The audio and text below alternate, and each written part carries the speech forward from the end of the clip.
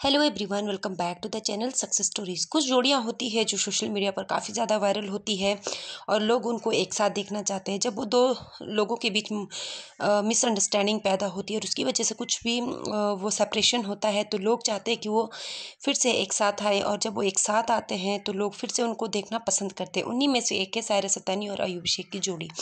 सारा सत्तानी और अयूब शेख की जोड़ी टिकटॉक से काफ़ी ज़्यादा फ़ेमस है और इन दिनों में फिर से वो एक हो गए हैं। जैसे कि आप सब लोगों को पता है कि पिछले एक साल से उनके बीच काफ़ी ज़्यादा मतभेद था, मनमुटाव था लड़ाई झगड़े चल रहे थे सेपरेशन था। But finally they are together and अभी जब भी वो एक साथ रील्स बनाते हैं, फिर से उनकी जो व्यूवर्स हैं, उनके फ़ैन हैं, उनको एक साथ देखना पसंद करते हैं। लेकिन रिसेंटली के अभी एक जो ब्लॉग सायरा सत्तानी ने पोस्ट किया, उसमें सायरा सत्तानी कहती हुई नज़र आई कि